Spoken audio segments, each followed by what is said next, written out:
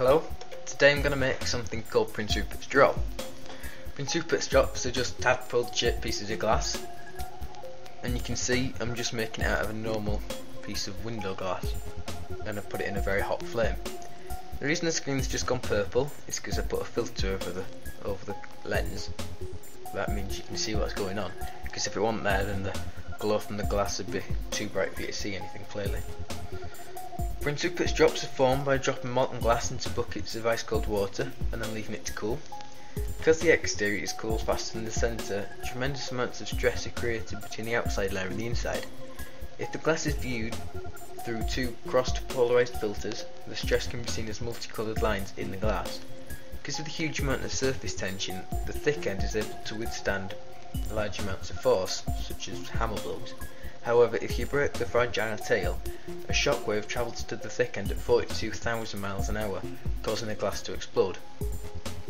Now, you can see that I've got it into a pear shape, that's because I can focus on just getting a small area of the glass blob hot. And the reason it's on a metal pole is because I can control it better.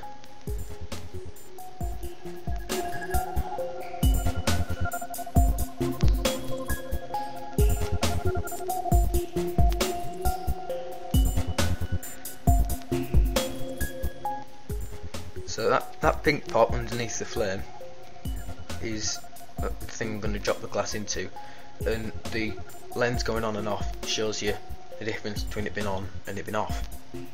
So I'm going to drop it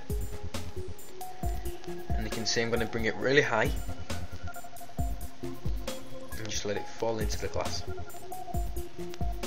Uh, pot.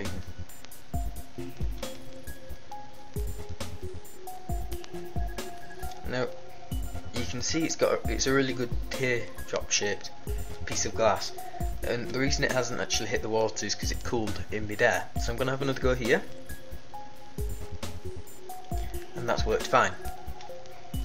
Um, yeah, and you can see this one here. I've done lots and lots of drops, but only one worked.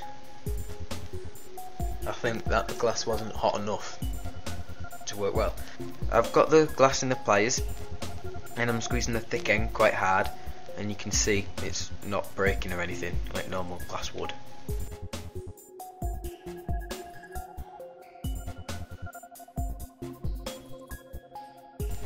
So finally, the bit you've all been waiting for, I'm going to make it explode. So, just watch.